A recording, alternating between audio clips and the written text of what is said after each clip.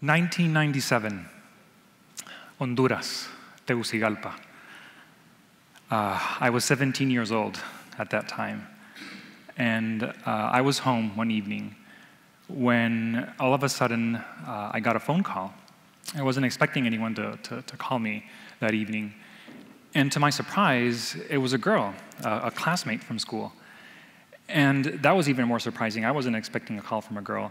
And this was someone that I had not spoken with uh, that much in school uh, anyway. But she needed help with, with some homework. So, you know, I, I helped her out and worked her through the homework. Uh, and after we got done with that, we struck up a conversation. We started chatting. And before I knew it, we had spent like a couple of hours on the phone. And, you know, that was amazing. Um, in fact, we, we kept talking uh, almost every night for a couple of hours to the point where, where my mom was getting upset, you know, telling me, hey, you're running up the uh, phone bill. Uh, and, you know, this, this was uh, before cell phones and uh, unlimited plans and, and all those things. um, yeah, so that was really like the, the first time in, in my life making a, a connection like that with, with, with someone.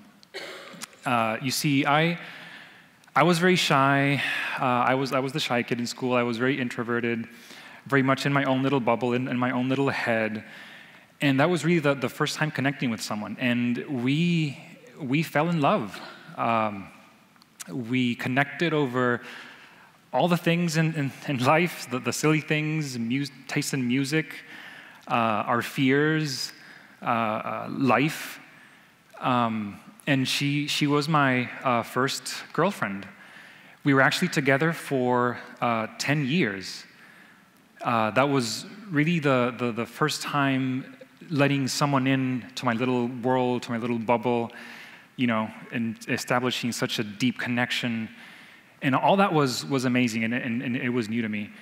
Um, but she, she was very different uh, than me. She was, she was outgoing, she was social, uh, she liked to dance. She wanted to travel and see the world. And some of those things were a little bit outside of, of my comfort zone. I even uh, remember uh, uh, one evening, she, she asked uh, if, if we could go to this restaurant where they were going to have live music. It was going to be fun. We could, we could have dinner.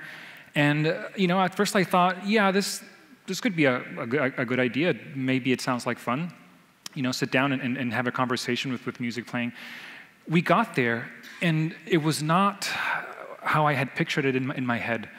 I felt so out of place. It was a different social situation, something I had not encountered before. I, I felt like a fish out of water. I felt so uncomfortable, and then uh, all of a sudden, the music started playing, and I couldn't even hear myself uh, uh, think. It was, it was uh, so loud. And I wanted to look at the menu and, and, and figure out what to order, but I, you know, I couldn't even think. And uh, I was just, you know, feeling so out of place. And we, we, we weren't even there for, I think, for 50 minutes when I said, oh, let's, let's get up, let's go. I, I, you know, I can't be here. Like, I couldn't even, like, just sit down and talk with her. And all the while, she was actually having fun. She was enjoying the energy, the music, the people, the atmosphere. But she saw how uncomfortable I was, and you know, she said, "Yeah, okay, let's let's go." And you see, that's, that's how the relationship went, uh, you know, um, through, throughout the, the years. Uh, I had a hard time coming out of my comfort zone and, and meeting her halfway. And, and, you know, she would always sacrifice what she wanted to do, you know, to, to make me happy, to make me feel comfortable. Um, so, you know, eventually, over the years, uh, we grew apart we, we broke up. Uh, the, the, the breakup was, you know, as you can imagine, really hard, not only because we had been together for 10 years, uh, and we started so young, I, I, had no, no clue who I was on my own at that point, since I had basically grown up with her. Um, but not, not just because of that, but because a few months after we broke up, she, she met someone. And I, I still remember how, how it felt when, when I found out uh, by this time, I, I, was here in the US in, in grad school. And I remember I, I had just finished all, all, my finals for the, for the uh, spring semester. I was feeling great. I was feeling such a huge relief. I can sleep, I can wake up the next morning and just relax. And then the next morning, I'm there in, in my dorm room, and I get this uh, text message from my mom asking, Hey, uh, why do I see your ex girlfriend uh, on, on Facebook uh, with, with a ring on, on her finger? And that really just took the breath out of me. It felt like a punch to the stomach. I knew something really, really bad had happened. I, I knew I, I, had messed up. I knew something was wrong. And I could, I could barely breathe. I could barely think. Uh, all, of, all of a sudden, everything just, the world just stopped at that point in time.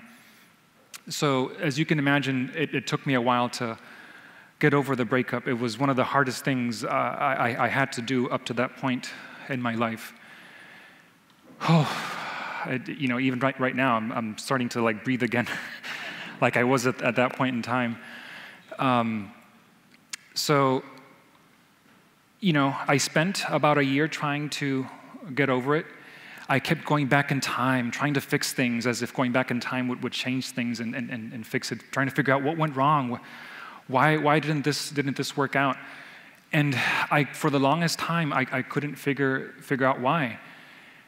And eventually, in the end, I finally did it. I figured it out. I, I, I knew that the only way to truly figure this out was to put myself in her shoes. I sincerely and wholeheartedly just you know, took that plunge and put myself in her shoes. And that was just the most, well, it was the hardest thing to do, but it was an amazing experience. And I'm not saying I, I, I just stepped in her shoes for a little bit to peek over how things looked from her side.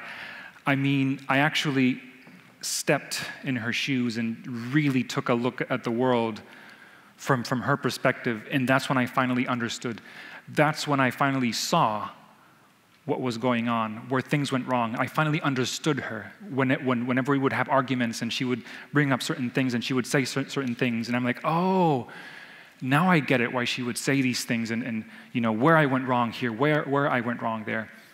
And I also saw, as while I was there, I also saw him, um, the guy she was with. And I could see, I could see he was a really good person uh, he was, you know, a better, a, a, better person for her than me. Uh, he was able to offer her a lot of the things that, that I wasn't able to, to offer her. And, you know, that, that really hurt, of course. And while I was there, I also saw myself. I saw me naked with, you know, all my flaws I saw insecurity. I saw, oh, um, I saw fear, insecurity and fear. I saw selfishness. I saw ego. Those were, I identified it. Those were the things that were at the root of everything. That's what, you know, caused this whole thing. And then at that point, I said, okay, hey, you know what? As much as right now in this moment I feel like I just want to ignore this, I don't want to face this pain, I want to sweep all these things under the rug and just pretend it's not my fault, I'm not going to do that. I'm going to face this head on because this is what got me in trouble in the first place. So then I made a conscious decision to move forward and fix some of these issues. And the most amazing thing happened from that point forward. While I was there in, in, in grad school, I started becoming more outgoing, more social. I met people from all over the world. I, I even uh, took dance lessons and, and learned how fun that, that could be. I can, I can do a little bit of, of salsa now. yeah. Um, I'm, not, I'm not that great at it, but you know, I can fool you for a bit. Um, but yes, uh, I, took, I took some uh, dance lessons. And while I was doing that, I realized, oh my goodness, it's, this, I'm, I'm seeing this change, how, how This whole thing sparked this change. Uh, I, I, I, don't want this to stop. What, what's next? What, what can I do next? And then I realized, hey, you know what? Now put yourself in other people's shoes. And then I started putting myself in, you know, coworkers' shoes, uh, friends, family. I started becoming a better professional, um, you know, working better with, with, with other people. And uh, I, was, I was there for my, for my brother and sister as, as they needed advice, and I, and I helped them navigate through important life and, and career decisions. I was there for, for, for my mom, and, and I'm constantly worried because, you know, she, she basi- basically uh, devoted her entire life to us, and, and now she's entering this new stage of her life where we've all left home, and, and even, you know, mo- um, both my brother and I left the, the uh, country. And, you know, what, what does life look like for her now? And, and I want to be there and, and, and help her navigate that. And then at some point, as I was going through this whole process, I said, Oh, hold on, hold on, wait, wait. What's next? So now we've done this. How can I keep expanding my perspective even more and, and broadening my uh, circle uh, or my, my comfort zone? And then it, it, it, hit me. Let's then expand it beyond just cir- uh, the, the, circle of, of, close family and friends. Uh, what does that look like? Volunteer work I started doing volunteer work. I started doing all sorts of volunteer work I, I could get my hands on. I started doing everything from serving meals to the, to, to the homeless to reading books to kids. And all that experience was incredible, and it helped me develop a very deep sense of awareness and connection with the world around me and my community. And I wanted to, to be involved now. And then I, and then, you know, I wasn't satisfied with that, apparently. I said, okay, now what's next? I've, I've expanded this much. What's, what's the next step? And then I, I couldn't quite figure it out. Eventually, I found STEM uh, science, technology, engineering, math. I started getting involved in, in, STEM outreach programs. And, you know, because that's the field where I work, and I, and I said, I want to maybe help other, other people, uh, you know, get involved in, in, in STEM. And the, I, I, remember the first time I volunteered in, in, in this program. I, have been doing uh, Lego robotics, if you've heard of it by any chance. It's this fun little program where you teach kids how to program a robot and you know, you solve some missions. There's a competition at the end of the year. It's, it's amazing. So the um, first time I, I uh, did this, uh, I was working with, with a group of girls uh, from a low-income housing project, uh, mostly from immigrant families. And you know, being from Honduras, I'm, I'm, familiar with, with their background, the culture, and right away I, I, could identify some of the hardships that, that they were having. And it was, it was really hard because I, I knew it. I, I come from that background. I, I knew it was, it was going to be really hard to grab these girls and then tell them, hey, look, this is a robot. This is how you program a robot. Honestly, they, at, at first, they, they didn't even want to be there. They, they didn't like the idea you know, they had other bigger problems to, to, to worry about. And I was thinking, you know, how can I, how can I get through to them? Uh, can, can I even, uh, you know, accomplish this? Kind of, can I get them to the competition and, and, and maybe do something? But you know what? The most amazing thing happened at the competition. They saw the other kids doing this and then all of a sudden this like sense of pride developed and they wanted to do it too and not only that they actually did well and they even surprised me by how much they were able to accomplish at that competition. And then I, I said, oh my goodness, these girls can do this. Not only that, they, they deserve an opportunity to do this. And that's when I understood that that was the next step that I wanted to take. It was not pushing me outside of my comfort zone. How can I push other people outside of their comfort zone to help them grow? And I said, This is what I have to do now. This, this, is, my, this is my goal. And he, that leads us to where we are today. That is, that is what volunteer work is for me today. I want to help increase participation of underrepresented communities in STEM.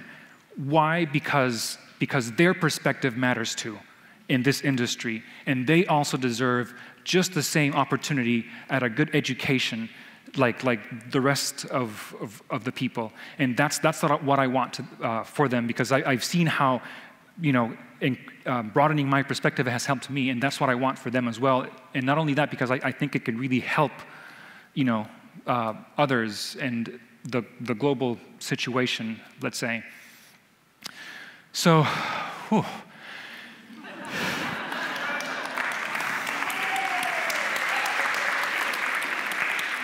I know, I need a, a little breather. Um, so then, um, today, when I look back uh, at, you know, at, at, 10 years ago, when this whole crazy journey started, uh, I understand what, what it was, what it, what it, what it was that, that sparked that whole process, that whole journey.